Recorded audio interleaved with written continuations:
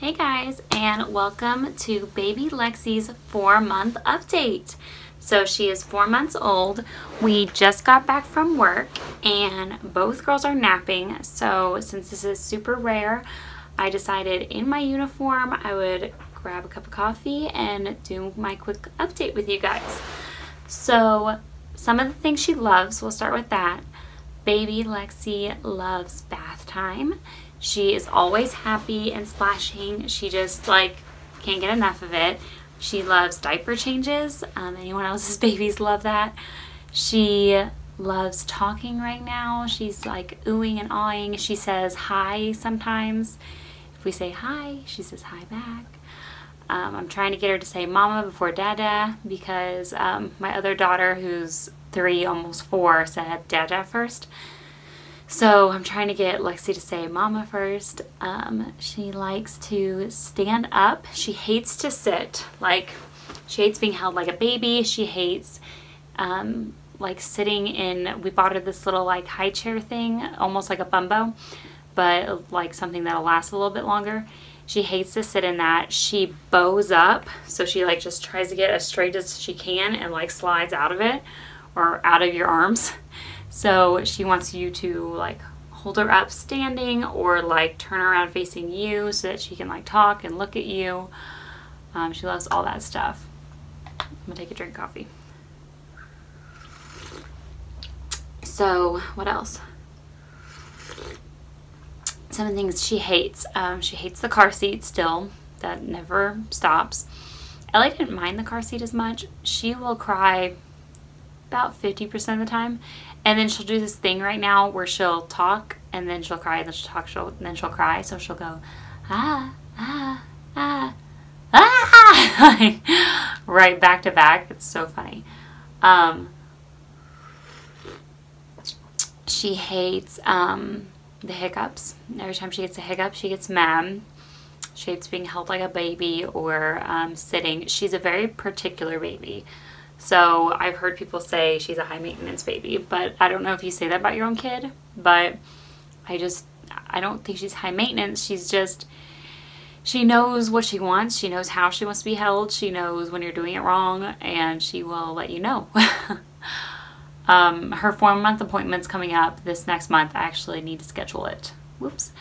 So I need to get on that. And so we'll find out how much she weighs and all that. Um, she's always been skinny, but like she's a little bit bigger than what Ellie was at this age, so I don't really have any concerns there. She's actually, she's always had a hard time latching um, just since she was born. Just like we'll latch on, pop off, latch on, pop off, latch on, pop off. And then this month, just within the last like two weeks or so, she's gotten really good. So she's finally um, like stays on the boob. Um, okay, then go back to your room. She pooped. She needs me to wipe her. Mom life. Okay, what was I saying? so she is, she's latching better. Um, she stays latched on for, you know, five, ten minutes at a time. Um, let's talk about sleep. So um, third month was like I got the gauntlet. So the first two or three weeks were awful.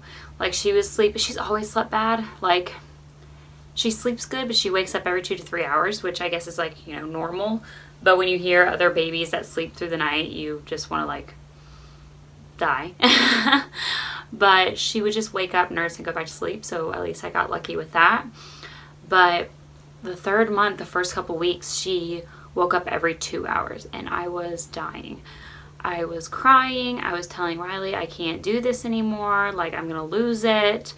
Um, so then Christmas came and we were so busy with the holidays that, like, I think she got worn out throughout the day. And even though we got her down to nap, I think in the evening and night she was so worn out that she actually slept, like actually slept good. Also, I was desperate at that point and I was like, these are the holidays. I need my sleep. I'm going to do anything I can. So right before bedtime, which was like 10 o'clock, we would give her gripe water, like five milliliters, I think is what we gave her, and then a little bit of baby Tylenol. And so we gave her both of those things. Um, and then she slept all through the night on Christmas Eve and Christmas Day night. So I think that reset her schedule, like her inner schedule. Like, and she, I don't know, she set a new schedule for herself with that. And so now, since Christmas, it's January 7th now. So since Christmas, she's actually slept and she only wakes up at like 4. So she'll sleep from like 10 to 4 and then she'll wake up and I'll nurse her for a long time. Like she stays latched now. Like she will nurse for like it, before she would nurse for like 10 minutes and then I'd put her back down she'd be up 2 hours later. Well, now she'll nurse for like an hour, but then she'll sleep like 3 or 4 hours after that. So I feel just so much better.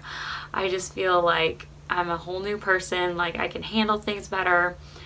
I month 3 was hard at the beginning. I think that I took on way too much. So I had her, I hurried back to work. I hurried back to like my normal routine that I had when I just had Ellie. And it's just not the same. I can't do that routine with a baby. So this month I've cut like everything I can just to make life more manageable. And it made me really sad and I cried over a lot of things because we didn't do basketball for Ellie. I had to take a break from whiz kids I'm just cutting, cutting, cutting just so that I can catch up. Like, I think, and I, the only thing that gets me by is knowing that this is temporary. This is just a season. This will be over soon. And in a couple years or in a year or so, she's going to be back where Ellie was, where I could kind of do things that like she took regular naps and slept through the night and stuff like that where, and then I'm more used to it, then I'm going to be able to pick everything back up. But just right now, I need to realize that what matters right now is cuddling my sweet baby and that's it. Like doing enough to get by. So that's financially, that's enough activities to get by with Ellie. I just, I'm not going to overwhelm us right now, like anymore, because I don't want to look back in a year, which I already look back and think I did way too much. I had way too much on myself. I should have just relaxed that season of my life and enjoyed the baby cuddles and just took the time to take care of my family. I'm not the mom and wife that I need to be, and that should be number one priority. And then all the stuff should take number two because that's what matters right now. Um, so that's where I'm at right now. Um, I mentioned earlier that I gave her some Tylenol at bedtime. It's because she's teething right now. Uh, so she's teething way earlier than Ellie and and it actually is having an effect on her. While with Ellie, she didn't really care that she was teething. Like I, I would feel her teeth, and but you, she didn't drool, she didn't chew on her teeth, she had did not, never had a fever. Um, Lexi has all the symptoms because that's Lexi. so Lexi's definitely teething. And so the Tylenol is helping. Um, I just let her chew on her fingers. Everyone says, everyone around me is like, get one of those toys and you put in her mouth. She has like 20 of those toys, but she's not to the age where she like knows how to put it in her mouth and keep it in there. And they're so big that they're like too big for her mouth. Um, so I don't care. Chew on your fingers. I'll sanitize them. That's fine. I don't, if it makes her happy. Um, oh, I forgot to mention she's rolling over like crazy and she's starting to crawl. Guys, she's four months old and she's trying to crawl.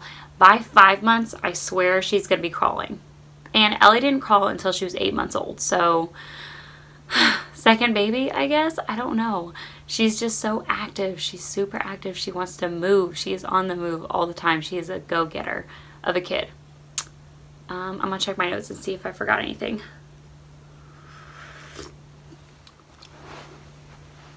Okay, so we're done talking about Lexi. So if you guys want to stick around and hear my postpartum update, here it comes. so weight-wise, I actually lost more weight this month. I actually lost, I think, like four pounds in a week before the holidays. Um, and then I gained it all back during the holidays, um, which I don't care. I'm following, uh, if you guys go look it up on Instagram, it's hashtag all foods fit. And it's all about um, uh, intuitive eating and just not being worried about your weight and just being happy with where you're at and eating for your health to like feel good. Um, it's just great. I I'll, i think I'm gonna do a video on it. So um, that's coming soon. So stay tuned. But I did lose a lot of weight this month. It's mainly because I've been so busy with the kids. I just haven't been eating. So if you want to lose weight, that's your tip. Just forget to eat or have two kids and never eat warm food ever. Um, so that's where I'm at. I feel good in my body. Um, I like how my arms and my neck and my legs and on my face, I like how that looks. My stomach is still a little flabby, um, but that's my fault. I'm not working out, but that's on the back burner. Like I said, I'm cutting stuff and working out's getting cut because it just is. So I don't care, um, but if you have a little flab around your stomach, I think it's normal. I wouldn't worry too much about it. My husband still loves me the way I look, and that's all that matters. Uh, also, what else? Oh, the hair loss. Oh, I gotta update you guys on the hair loss. Has not stopped, has gotten worse. Officially, two days ago, I noticed the balding. So, if you see, my hairline used to be like a circle right here, and now I'm getting like a straight up widow's peak. I usually don't wear my hair up anymore because of the balding and the hair loss. Um, but today we were kind of running out of the house and so I just threw it up in a ponytail. But I look bald and yeah, it's getting bad. Like especially right here. Yeah, and my friend recommended shampoo and um, it didn't work.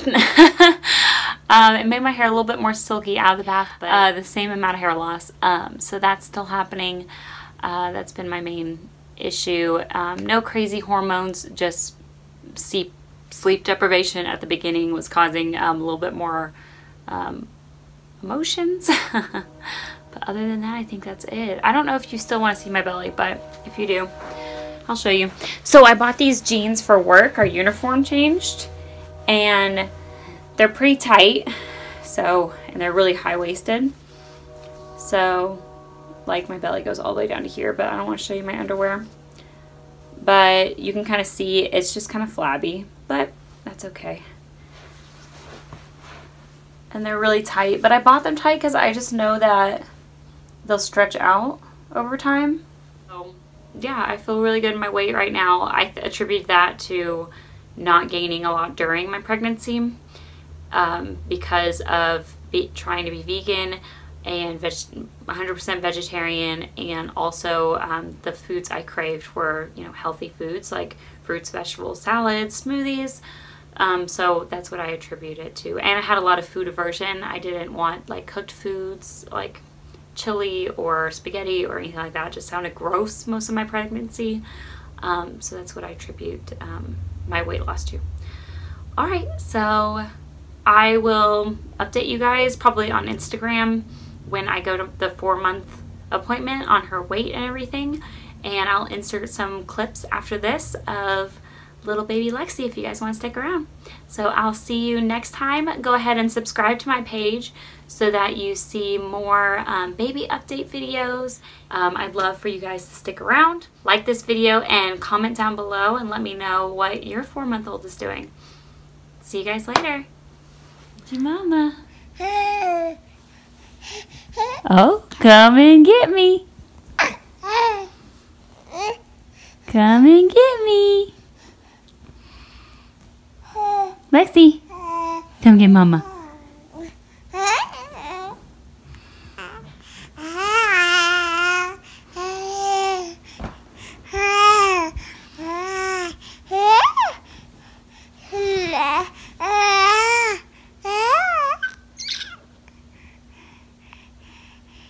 Is that right? Is that right?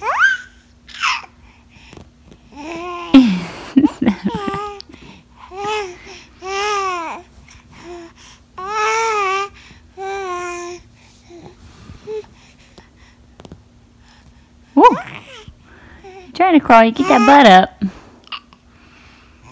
Get that butt up. You do.